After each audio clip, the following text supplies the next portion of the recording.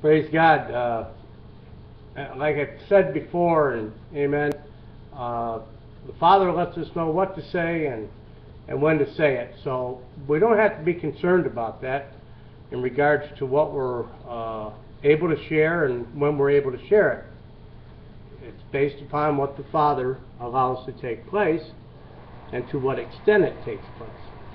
So what I want to share with you real quick, right from the get, is I want you to take note, okay, of the number of the video of which this revelation came to me in understanding in regards to going back to school for all of us and putting all that together for us so we'd have a better understanding of what's taking place. It's the 88th video, double portion, 8 8. Now, some of you are not going to understand 8 represents new beginnings on the eighth day, started a new week. New beginnings is what we're coming into right now. Dawning of the day of the Lord, the thousand year reign of Christ, of which He establishes His government here first, right here, right now. Okay? Spiritually. So, the other thing I want you to look at is the length of the video 1456. 14 also represents double portion, 7. 56 adds up to be 11. I want to show you all these numbers because 1 is God, 4 is unity, 5 is faith, 5 wise to 5 foolish, household of faith. Uh, also, David picked up 5 smooth stones. Only took one to bring Goliath down, but nonetheless, he picked up five smooth stones from the brook. I believe it's called Kidron Brook. I'm not sure, but nonetheless, that's what he did. He picked up five smooth stones. Faith. The stones, sons and daughters of God. Okay. One is God, four unity, five faith, and six, you should all know, is man.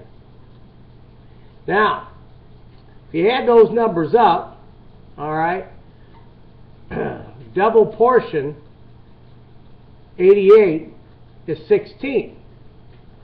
16 is 1 and 6, and that's 7. God. 1 is also beginning or God, universal, one with God. Amen. And six, of course, is man. Man being made one with God. Seven. One and six, seven. 1456 is one and four is five. Faith and five is ten. Ten and six is 16 again. 1 and 6, 7. God. Now these things I know that many of you are not going to understand in the beginning. That's why these are, this is a new beginning. This is why we're all going back to school. This is what I tried to show and share with uh, uh, 777AEJ, but uh, she just, I don't know what happened. Uh, maybe she was having a bad day or something, but uh, I pray she comes out of it. Uh, my prayers are with her in regards to that, and uh, I hope she'll start to understand that uh, it's in the revelation, in the revealing of the Word of God and the kingdom of heaven, of which we're entering into at this hour. Restoration, all right, in the building of God's house. Jesus is uh, church upon the revealed Word of God, which comes through the sons and daughters. So don't try to get it all at once because it's not going to happen that way. Uh, as the Lord reveals, as the Father reveals, we share. Uh, as we come into it, we give it to you, and that's how this thing's going to work. So, it's by faith that we enter in, and you must keep that in mind. But I guarantee you, uh, it'll all line up perfectly with the literal Word of God. Now, you see, I want you to look at what's taking place. Our understanding in the revelation, in wisdom and knowledge of revelation, is now coming to that place which these things, the mystery of God is being revealed, unveiled, and the revelation is coming forth. Well, that which is bound on earth, I want you to see that, is bound in heaven. So as the Word, the revealed Word, goes forth from the sons and daughters, that which is revealed by the Father, the understanding of the literal Word, which is what the bondwoman depends on, becomes bound. Her ability, her ministry, hands represent ministry, feet, you know, that's why Jesus said he had to wash their feet. He was wasn't washing their feet to wash their feet. Jesus didn't do anything, not one thing through his entire ministry that was not a revealing of the kingdom of heaven.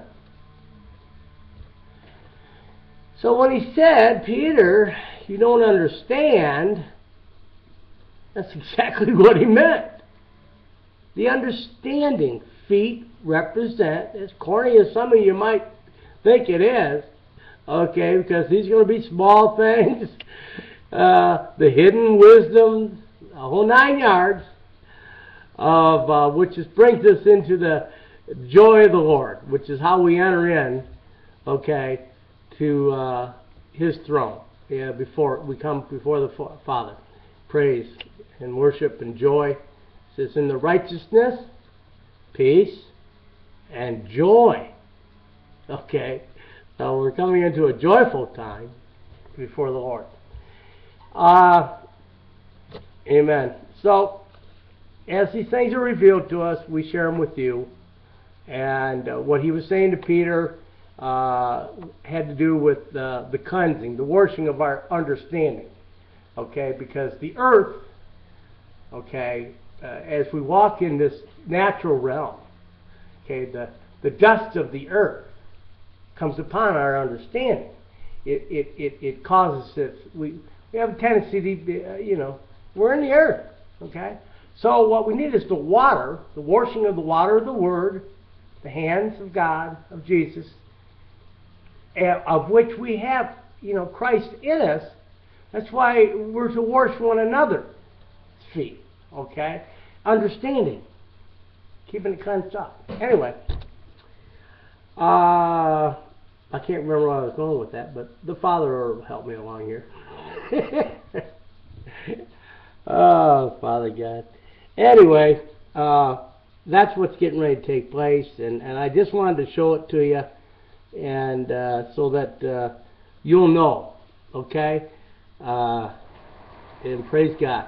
Uh, like I said, we're not gonna uh, we're not gonna share any more than the Father would have us share, and and uh, uh, at the time that He would have us share it. And it's His time clock. It's perfect. So we're going to come into this new understanding, and you're going to receive it by faith. Those that are His wheat, according to His word, they hear His voice, and uh, that voice only shall they follow. So the binding of the tares is taking place at the same time, all right, that the wheat uh, and the threshing floor and all that is getting ready to take place. All right, and I told you, the barn was built before, all right, the wheat was gathered into it. Read the parable. I mean, all of a sudden you see a barn. Well, where did that barn come from? So it was established for the wheat to come in. Now, where are the wheat at? Well, they're here on earth still. That's what the parable's about. And they're being taken out from underneath the bondage of the bondwoman, separated, unbraided from their doubt and unbelief regarding that, which the tares, weeds, uh, and the wheat have become braided together in. So the unbraiding comes through the binding of the tares, okay, and the separating of the wheat